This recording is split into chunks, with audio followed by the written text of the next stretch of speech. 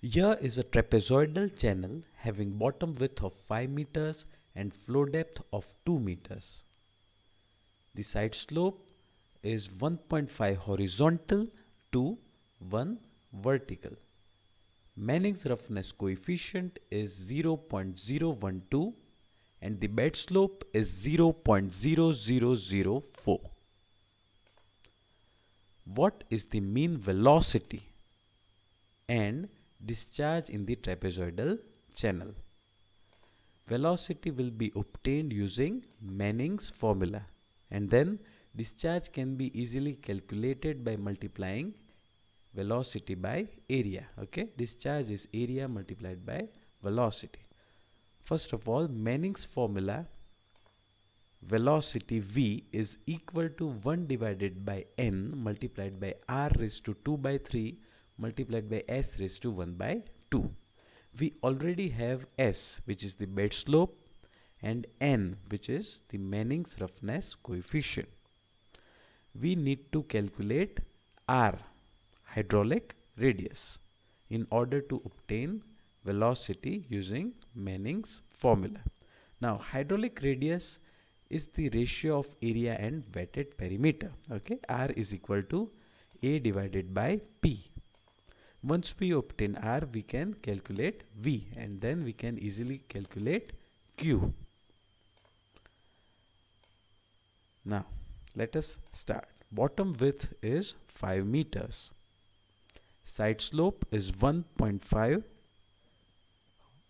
bed slope is 0.0004 Manning's roughness coefficient is 0.012 flow depth is 2 meters okay area can be easily calculated using this equation a is equal to b plus my multiplied by y and wetted perimeter can be obtained using this equation. Now, area uh, is 16 meter square and wetted perimeter is 12.211.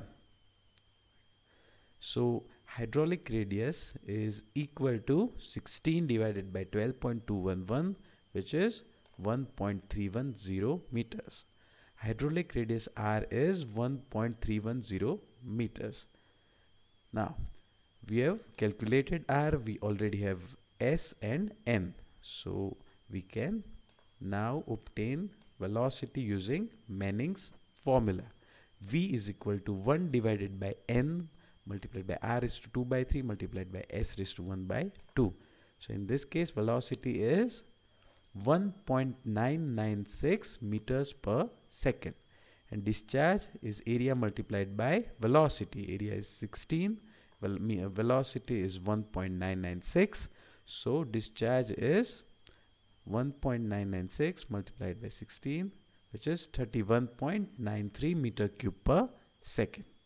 Okay so in a trapezoidal channel having bottom width of 5 meters flow depth of 2 meters side slope of 1.5 horizontal to 1 vertical Manning's roughness coefficient of 0.012 and bed slope of 0.0004 velocity is 1.996 meters per second and discharge is 31.93 meter cube per second